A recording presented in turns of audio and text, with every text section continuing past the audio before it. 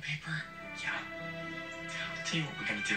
We're gonna go down to the impound lot and get the car, which has the gifts in it, and then we're gonna go over to the twins' house and beg for them to take us back.